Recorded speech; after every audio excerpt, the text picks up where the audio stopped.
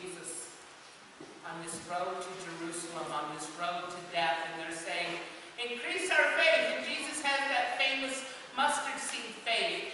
Girls, how many of you have ever had a necklace or a bracelet with a mustard seed in it?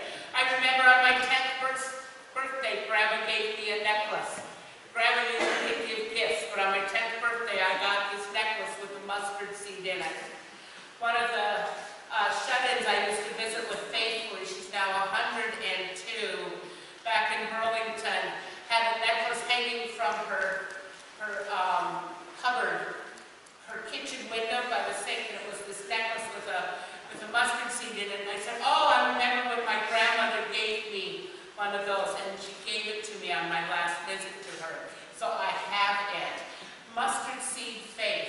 hear about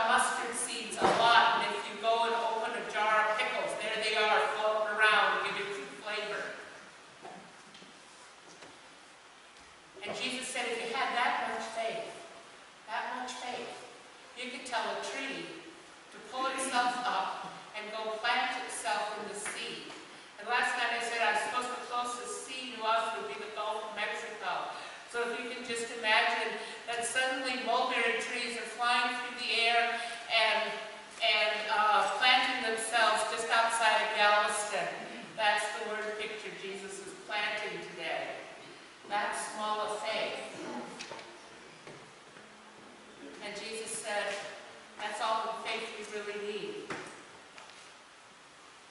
And so we ask for it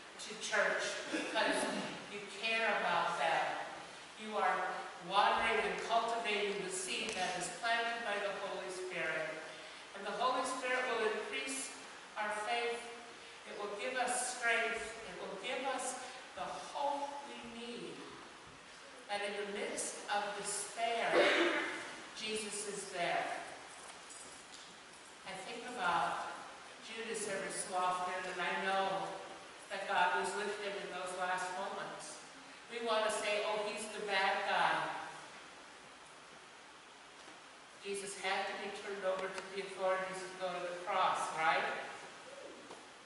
If he hadn't gone to the cross, where would we be today? We wouldn't be here. We would still be lost. We would still be afraid. But because of the work of Jesus on the cross and God's stamp of approval by raising him from death, we too get to live forever. We are vindicated against the wickedness of death in the resurrection of Jesus Christ. And because of our belief in that, and because the Holy Spirit works within us to make sure it goes, we do not need to fear death. It's just okay. Because we walk through the valley and we'll go from life to life eternal.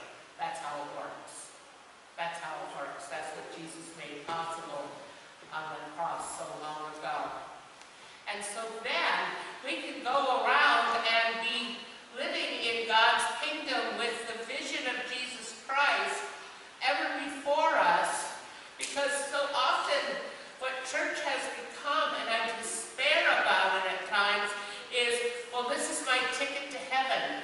You've missed the point if you think it's just about you going to heaven.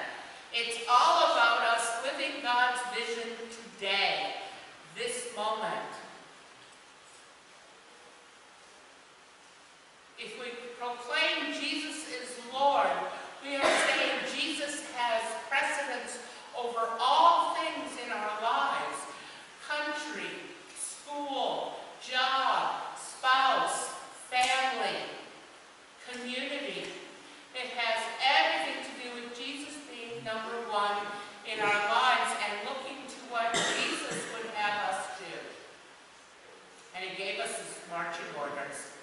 Said, go and tell, preach and baptize, teach the commands. His commands are easy. Love God with all your soul, strength, heart, mind, your very being. Love your neighbor, love yourself, care for the poor, the imprisoned, the marginalized, the stranger. That's it. That's it. And we want to make it so complicated. But I cannot by my own self come to believe that the Holy Spirit working within me. Paul hints about that in his writings, that the Spirit intercedes with us. That when we ourselves cannot pray, the Holy Spirit is praying for us with words that we can't even hear.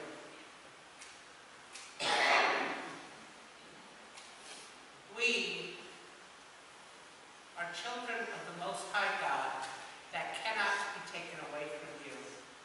And your faith is like a muscle. You use it, it gets stronger.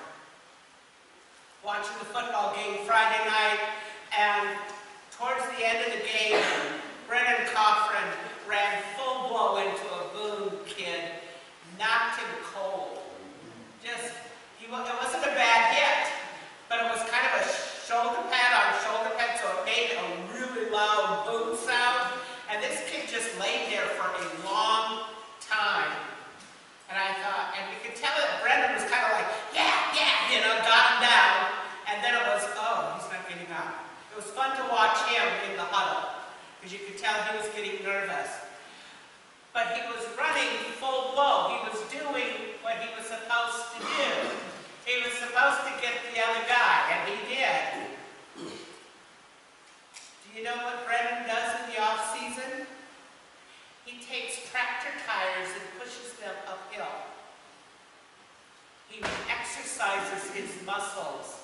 I think about Marcus. It was so good to see Marcus for homecoming and how he worked out all the time, exercising muscles so that he could do his football. How kids practice and practice and practice. Wrestlers lift weights in the off season and during, and they practice. And we as Christians practice by praying, singing hymns, trusting in God,